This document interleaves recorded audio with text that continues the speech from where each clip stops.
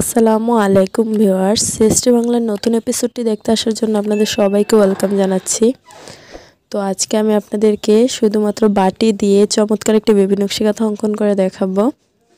আমার ডিজাইনটি ভালো লাগলে অবশ্যই ভিডিওটিতে একটি লাইক দিবেন এবং চ্যানেল সাবস্ক্রাইব করতে কিন্তু একদমই ভুলবেন না। তো এখানে আমি দুই গজ দুই গিরা পরিমাণ পবলিন কাপড় নিয়ে নিয়েছি। আর আজকে যে কলমটি দিয়ে ড্রয়িং করব, এটার নাম হচ্ছে ডায়মন্ড পেন্সিল তো প্রথমে আমি কাঁথার মাঝখানের অংশে একটি গোল দাগ দেওয়ার জন্য একটি প্লেট ব্যবহার করেছি। আর এখন যে দাগগুলো দিচ্ছি, এগুলো হচ্ছে চক দিয়ে আমি দাগ দিয়ে দিচ্ছি। এখানে গোল দাগটি দেওয়ার পরে আমি চার ইঞ্চি করে দাগ দিয়ে দিচ্ছি।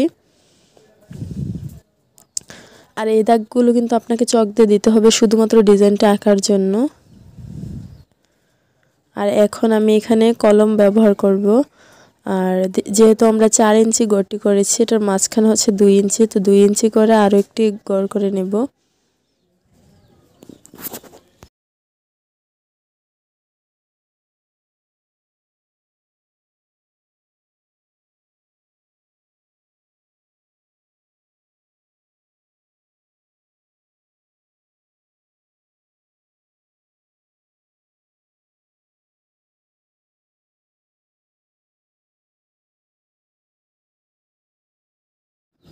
তো যখন একে আরও একটি গড় করা হয়ে গিয়েছে, তারপর এখানে আমি ডিজাইনটি করছি। আর দেখুন এই যে চকের দাগগুলোর বাহিরে যাতে ডিজাইনটি না আসে, সেদিকে লক্ষ্য রাখবেন।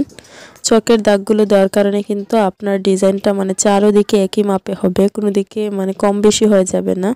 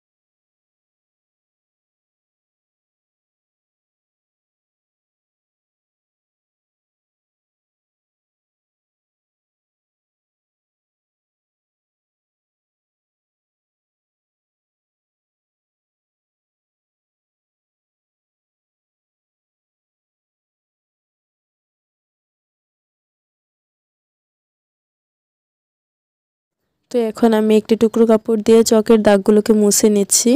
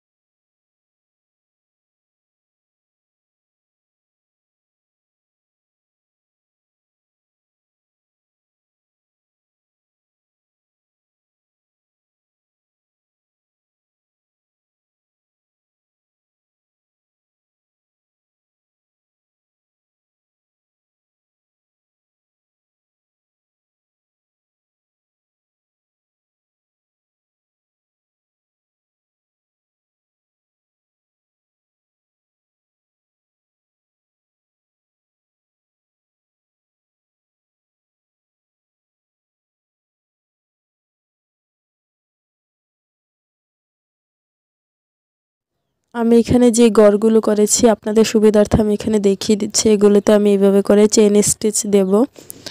আর আপনারা যদি কাঁথা সেলাইগুলো দেখতে চান, তাহলে অবশ্যই মাস, দেড় মাস অপেক্ষা করতে হবে। তারপরেই কিন্তু কাঁথা সেলাই শেষ হয়ে যাবে। একসঙ্গে আপনাদের জন্য অনেকগুলো বেবি কাঁথার ডিজাইন আঁকা এবং সেলাই ভিডিও সম্পূর্ণ নিয়ে হাজির হব ইনশাল্লাহ তো এ পর্যন্ত সবাই আমার চ্যানেলটিকে সাবস্ক্রাইব করে রাখবেন, তাহলেই কিন্তু খুব সহজেই পেয়ে যাবেন আপনারা ভিডিওটি